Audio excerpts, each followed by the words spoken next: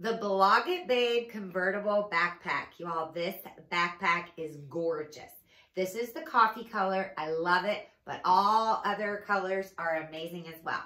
Now, I want to show you how it, get, it gets its name, the convertible backpack. I also want to show you how much you can fit inside this backpack because it's pretty amazing.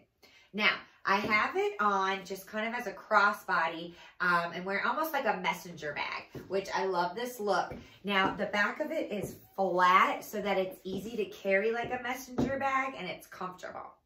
Now, it also has a handle right here where you can carry it like this, but the strap also can be pulled out on both sides and this can be worn as a backpack which is amazing and super comfortable. Because it has the flat back, it sits perfectly as a backpack and it's not sticking out. And the straps are adjustable, so you can make it as tight or as loose as you want. Now let me show you all the things that I have in this amazing bag.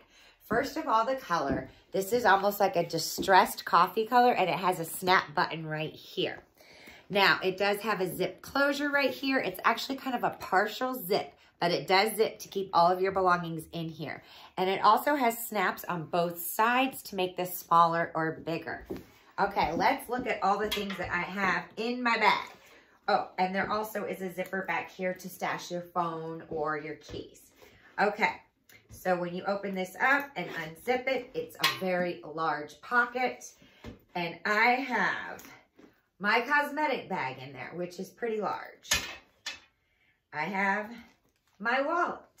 I have my planner. I also have my iPad.